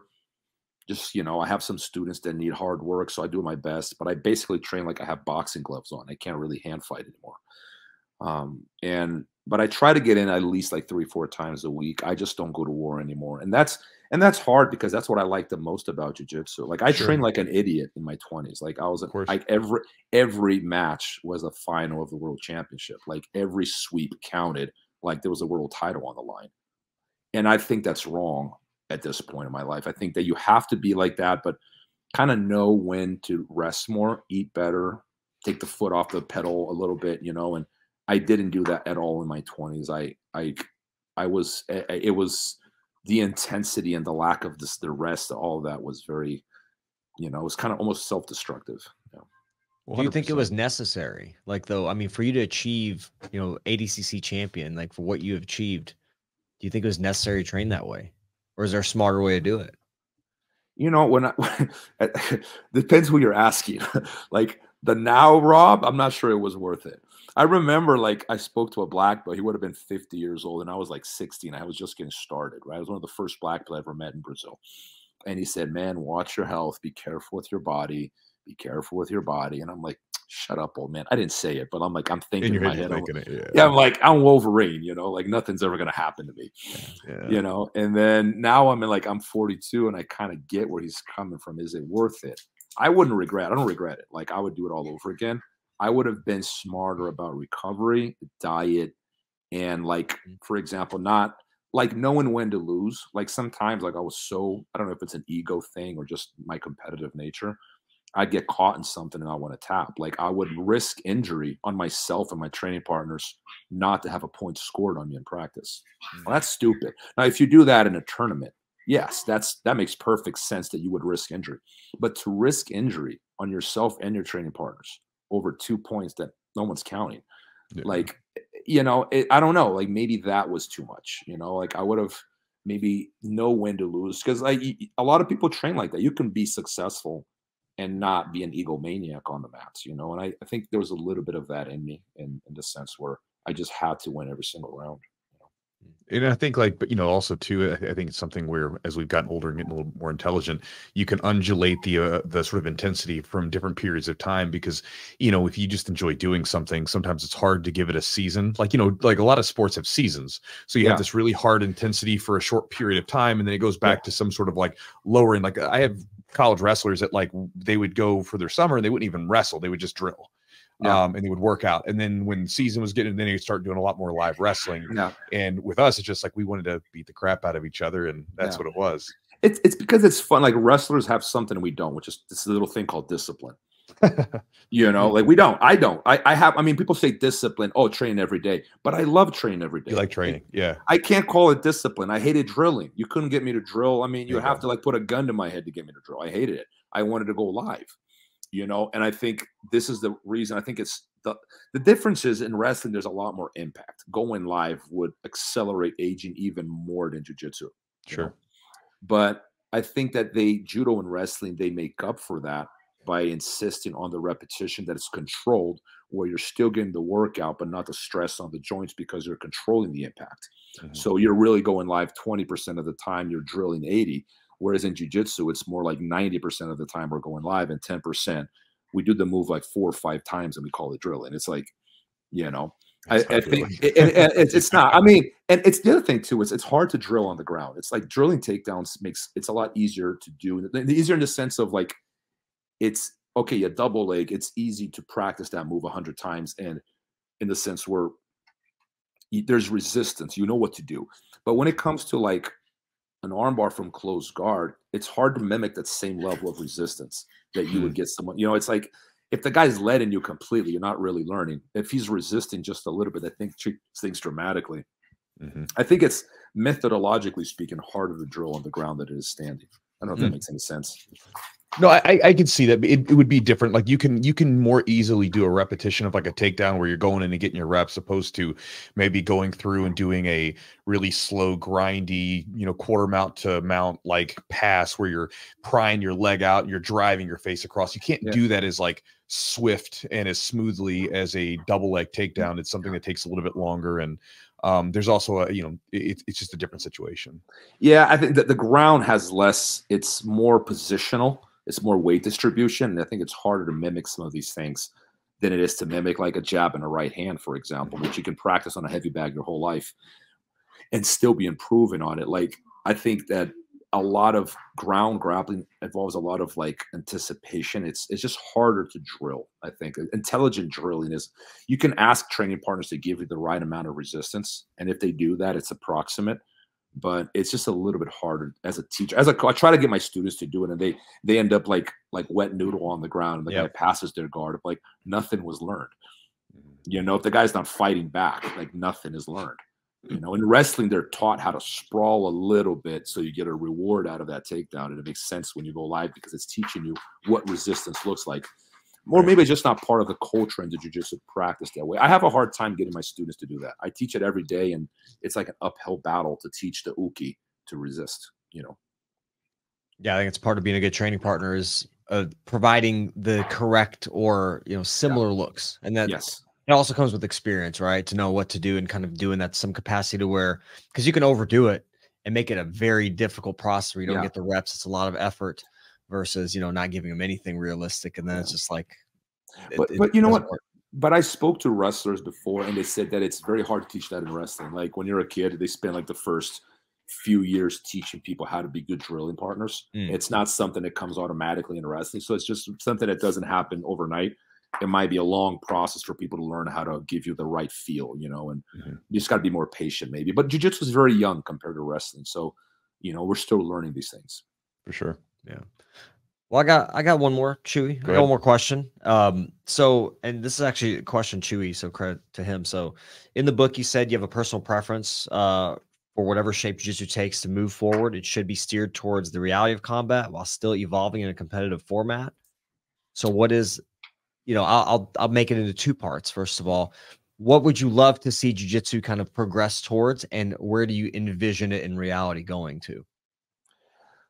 I think the the home run. I mean, people may not agree with me, but the home run would be that every single UFC champion, one champion, PFL champion, Bellator champion, had a background in jiu-jitsu. You know, and I think that right now wrestling has taken that place. It's the the majority of them come from wrestling. You know, um, wrestling is a traditional rival of jiu-jitsu, but I think that in terms of MMA, they've outdone us by a lot. And you can always say, "Oh, but they're learning jujitsu." Yeah, just but they're also learning boxing. Mm-hmm. The boxers are learning wrestling, and the kickboxers are learning jujitsu. Everybody's learning everything. But as far as like the foundation, there's not. Part of it is because jujitsu has become so popular, you know, and I think that we're treading in the path of judo. I think will become the new judo. I think judo's on its way. I don't want to say this like people be mad. Like, there's so many people doing judo around the world, but man, I'll, you don't see a lot of people leaving Brazilian Jiu Jitsu to go for judo or wrestling you see people going from wrestling and judo to Brazilian Jiu Jitsu all the time because there's as they get older. It, there's longevity, and that's the yeah. IBJJF strategy. And there's a reason. I think they they saw this when their their biggest tournament by far is Masters Worlds yeah. by far, and that's when they clicked. I'm like, man, this is this is our this is where jiu-jitsu is going. Like I could train until I'm 60 if I if I can keep the pace I'm at now. I'll be on the mats until I'm 60, even with my arthritis. There's no way you can do that in wrestling with high impact, mm-hmm. like going live with judo. Man, it's brutal. Muay Thai, try Muay Thai, try sparring live Muay Thai every day. It's brutal, man. Mm-hmm. So Even just I taking think, the drills and taking the bumps from the judo and yeah, stuff's rough. Rough, but getting back up, man, my knees hurt when I stand back up, man. I don't want to be standing back up all the time. you know, like so. I think that that that jiu-jitsu, Brazilian jiu-jitsu will win this fight. They will become the most practiced martial art in the world. If it isn't already, we will be I think that the ambitious project of having like hundreds of millions and over a billion people, it's not. It, we're on that course. We're on that track. I think we're we haven't peaked yet, but I think you know the sacrifice to that is numbers. You know, if you're going to increase numbers, you're going to lose a little bit of quality, and we no longer dominate MMA like we used to. Like there was a minute there. If you're a jiu-jitsu black belt, like people were terrified of fighting you. There's a you you were by far the favorite you know it was a brief moment but it did it was real. It, even though the jiu-jitsu population was very small in comparison to other martial arts we still dominated today the jiu-jitsu population is enormous but we don't we're not the most dominant martial art in the world in the ring. I don't think so. Yeah. And then uh so brother so i appreciate you being here with us. Tell the people um that are listening one where they can find you and also two tell us um where they can uh, where they can pick up the book. Um I'm I'm not the only social media I use is uh, Instagram. Like I can't do all the platforms. There's way too many. I don't have that much time for social media. So you can message me on uh, at Robert Drysdale JJ. Um, I'm pretty active there. Uh, I teach in Las Vegas. I've been here for 15 years, and uh, anyone is welcome. My gym. I'm not very political. You're always welcome to visit for a tournament. You come over for a convention, whatever. Everyone's welcome at the gym. You can buy the book at closedguardfilm.com. They're also available on Amazon. We have the Audible version come out. I didn't realize how popular Audibles were. Mm-hmm. They sell way more than the the printed version. You know, like I didn't have. I was resistant Audible for a longest time because I I like to read paperbacks. Like that's Same. I'm like an old school guy. Um, but I think most people prefer Audible these days. So we have Audible and Kindle as well for both books. We have multiple. We have four languages on the first one, and for now only English and Portuguese on the second one. Um, but yeah, I mean, if you guys ever stop by in Vegas, uh, I like feedback on the book. Every now and then I'll get someone writing a critical review of the book to me. They'll write me privately, and I love those. I mean, don't get me wrong; it's nice to hear that people loved your book, but I appreciate people disagreeing with me as well and telling me why they think I'm wrong. Like I don't mind that. Like a lot of times they'll point to a blind spot, and um, yeah, man, like it's it's been a pleasure, man. Like I, I appreciate the time. Absolutely. Thank you. Thank you for making the book, man. I think uh, if you guys are listening to this and you have not checked it out, I think you should go read it. I think it's a it's an important thing to uh, to actually get a little bit of an understanding of some of the history that from where we come from. There's so much stuff that like guys like me and like all of us had coming into the sport, what we thought it was, and everything else. And it's interesting to see the roots and where it came from, um, in in actually getting trying to get an an objective view rather than say like this sort of mythical hero view of, of all these different people and seeing who they were and then seeing where you know the, the roots of our, our sport and our martial art came from. Yeah, that was the goal, and I I, I played a part in this. I think. Like again, there are other people that have dug you know before me and deeper than me, but I think I might played a role in like bringing the story, you know, making even some little more shedding more light on it, and and I, I love it, man. Like I'm very proud of, of, of these books. They're not there's some things I would have written differently, but in general, I'm, I'm very proud of them, and and I'm working on a new one already. So yeah, that's what I was going to ask you if you got anything on the horizon. That's awesome. Can you tell us a little bit about like what the new book is going to be about? So I started one, but I put it on. I kind of finished it, but it's been too hard to edit it, so I put it on hold because I've kind of lost my page. It was like the, the, the mindset behind fighting, like it was more psychology of fighting. It became very difficult to organize and write, so I put it on hold. I'm currently working on a book that it's like a critique of martial arts. I don't have a title for it yet, but I'm I'm thinking of what is the purpose of a martial art? So I question, you know, martial arts in cultural and philosophical terms, particularly judo. You know, I see some things that I'd really like about judo. I see some problems with it in terms like its philosophy. Um, some problems that Jigoro Kano himself identified, and I think he's wrestling. You can see there's a conflict he has between the purpose of judo to create a society, you know, strong, a, mutual benefit, but also reconciling that with um, a, an Olympic mindset of com competition. You know, so you know, and and I'm I'm just right now I'm just reading a lot on the history of judo. There's not a lot out there, but whatever I can get my hands on. And then um, some other critiques of some other martial arts, including you know Bruce Lee and, and Brazilian Jiu Jitsu, things where, where I think they went right and where they went wrong, basically. Nice, dude. Well, good luck with it, man. Uh, I'm excited. If you come out with anything like let me know. I'll I'll definitely snag it. Um, I enjoy the writing style and the stuff that you put out so far, so I'm looking forward to it. Thank you, man. Thank you. Appreciate it. Thanks, Robert. Thanks, Appreciate Robert. Thanks, guys. See you next time.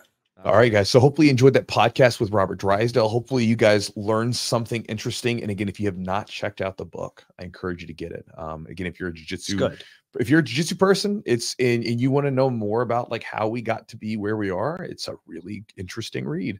Um, you know, again, it's I, I I, read it pretty quickly, and I end up um, he, like when Robert was talking about Audible and stuff. I, I used to like Audible more than I do now.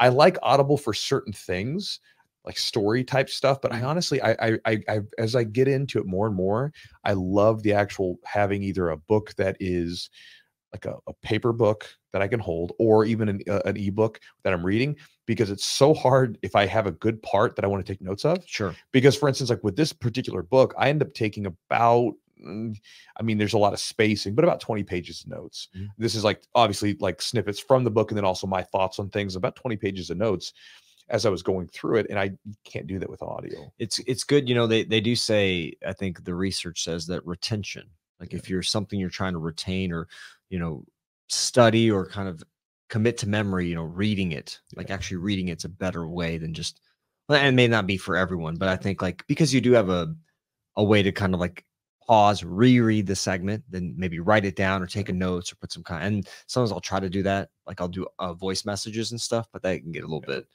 know, difficult to do. Well, also too, I think the, the issue too is you think about like what people are doing when they're doing books, right? Like when you're reading something, yeah. you're you're that's it. You, that's all you're doing. You can't you can't like really do anything else but read, mm-hmm. right? We, in the moment you're reading, but with like audiobooks, we drive our cars, we go for walks, we're doing other things.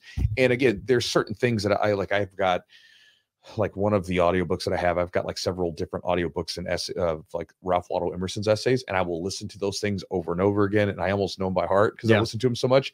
But you know, again, and those can give me some ideas. And a lot of times there's different books that I actually I've read and I'll listen to them in audio again just to kind of go through them.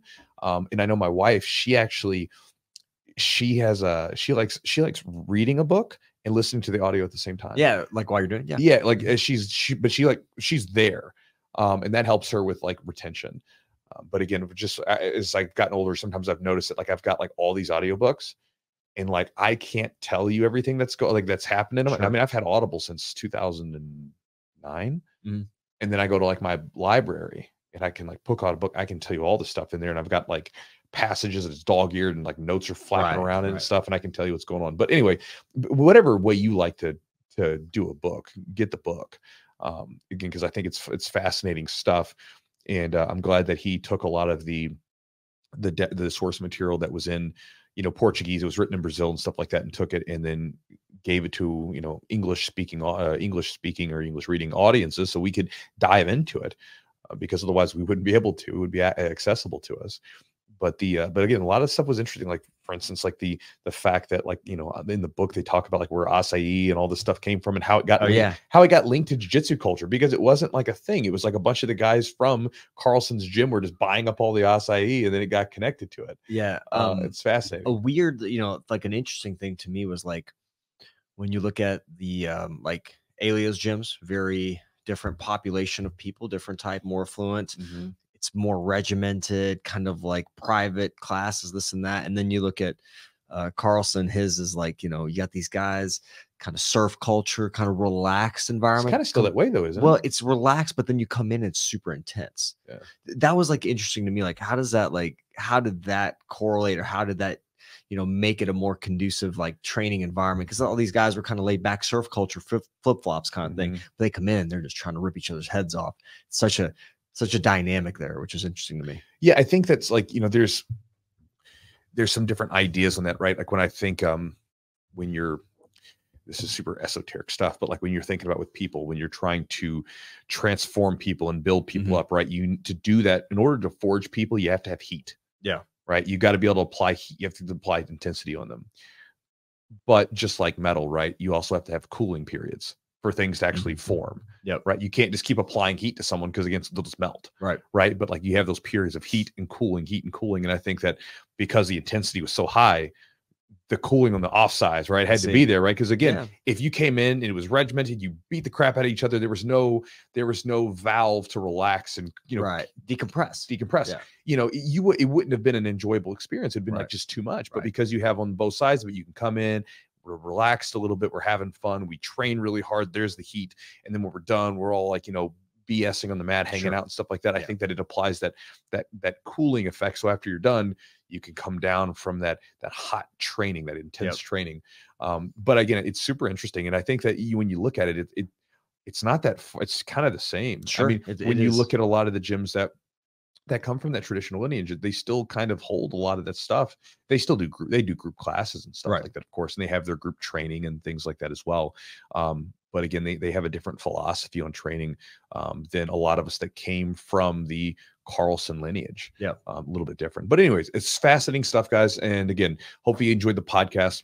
And again, check out the book, The Rise and Evolution of Brazilian Jiu Jitsu by Robert Drysdale. And again, guys, if you want to support the podcast, uh, then check out some of our sponsors, Charlotte's Web. You can check them out. Their premium CBD product, again, is a as a person for me. CBD is a part of my recovery routine. You know, just like talking about Robert Drysdale, recovery is important. There's lots of little things that you can do for recovery. Your biggies are going to be sleep and diet and proper undulation of training, giving yourself the time to take days off and rest and everything else, which when you're doing something like jiu-jitsu, it can be super tough because you like doing it. Mhm. Um, those are biggies, right? You know, the big the, the big ones, right? Proper training, sleep, and diet. I mean, those are your big three.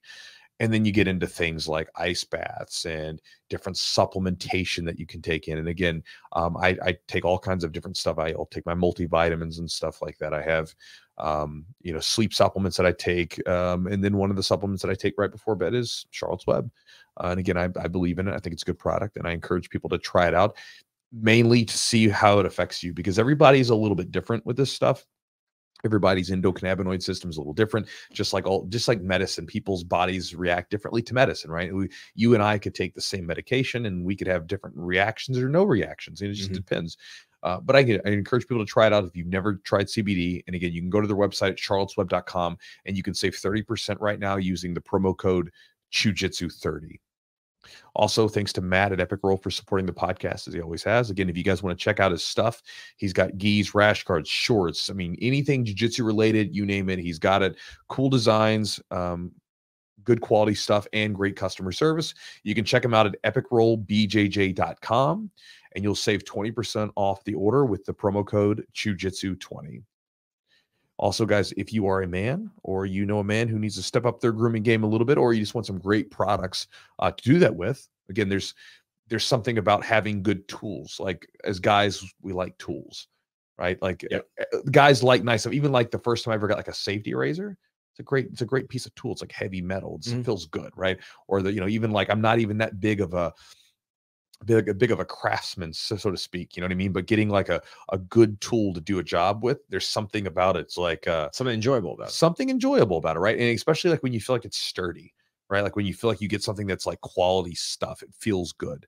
Uh, again, Manscaped has that quality, the quality tools, the quality stuff to do all your grooming stuff, everything from shaving your balls, shaving your beard, and everything in between. And uh, again, you can check them out at manscaped.com.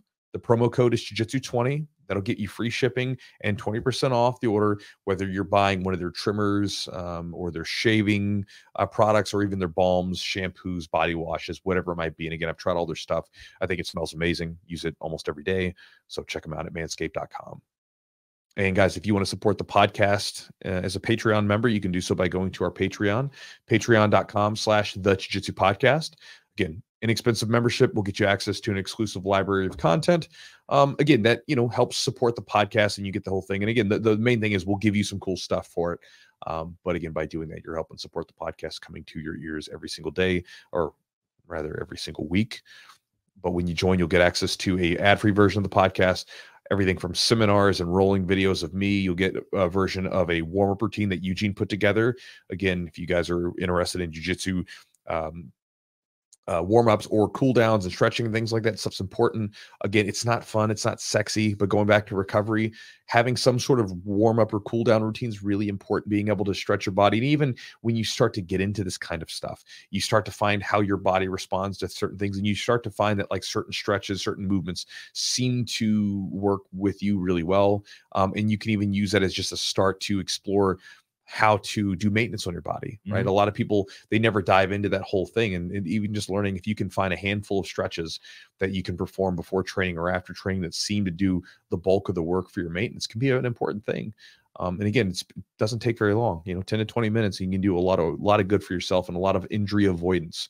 Um, but again you can get that at patreon.com slash the chewjitsu podcast and uh, last but not least, guys, if you want to get my daily email, which again can range from everything from training tips and ideas to books that I'm reading to little little quotes and philosophical passages that I pick up as uh, my, my reading, especially on my Sunday email that I send out. Uh, if you guys want to get that and everything else that I send out through that email, you can do so by going to my website at chewjitsu.net slash join. And again, along with getting my daily email, I will send you two free ebooks. One is on developing a jiu-jitsu game plan. One is on breaking through training plateaus using some different training strategies. And then you'll also get a video with that. Um, and the last thing, guys, if you enjoyed the podcast and you're like, I'm not buying anything from these sponsors, I'm not joining your email list, I'm not becoming a Patreon member, that's cool. But if you do enjoy the podcast, if you think it's uh, a good listen, if you listen to us weekly, like many of you do, thousands of you do, um, then again, if you wouldn't mind taking the time to give us a thumbs up or a like or a review or whatever it'll take you like it'll take you like three seconds to do right? And again that helps us out as a podcast to keep going.